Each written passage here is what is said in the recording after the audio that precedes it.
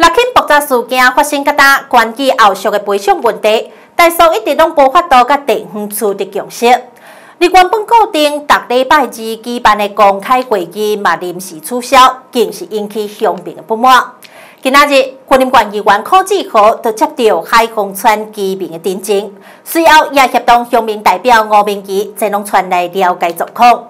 柯志豪表示，如果后续一直拢无看到六轻的升级，因将会有进一步行动。六轻爆炸了后，地方陆续落雨灾情出现，尤其是离爆炸地点上近的海丰村，受到影响上大。大个所在厝顶和窗仔拢破空，壁也壁开，大雨来，搁造成漏水。村民是非常无奈。你看，这是比较老旧的房屋，只要是三合院的，这是比较老老旧的房屋嘛。你看，那个屋顶的瓦都是掉下来的啦，里面整整个整个屋屋里面的都每天都是漏水啊，已经一个月一个半月了都没来处理。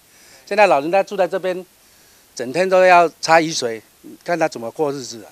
虽然已经有讨论出初步的赔偿办法，但是村民对结果真无满意，而且原定拜二要召开的协调会议也临时取消，让人感觉无受到尊重，就向管理员柯志豪来定情，希望会当讨一个公道。咱咱海丰遮所有啊，咱的村民吼，对这届吼啊，咱公所吼啊，将来唔捌来参与协调，啊唔捌哦，对因来了解讲即届受害的情形吼，但是吼，拢私下。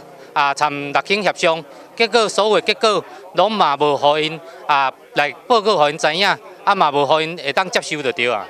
原本已经要收成的永续业者，也出现粉油啊大量死亡的状况。现在六轻的赔偿搁咧协调，因搁爱抽水、清洁啊等等开销，会当讲是一粒头毛咧收。啊，抽水开了，资本要掠的物件，结果等啊，即马你家看，安尼豆豆一直咧花，嘛袂掠哩，人花咱看到你个桥啊有咧叮当，唔掠啊，对啊。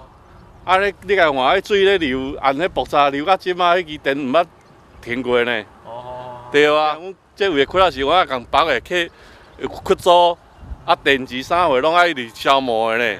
六庆和公所定出的赔偿办法，真侪乡民拢感觉真无合理，而且对爆炸到即马，六庆也拢无全面性去了解受灾状况。所以咱若是搁感受袂到六庆的诚意，伊会继续抗争到底。记者陈建华采访报道。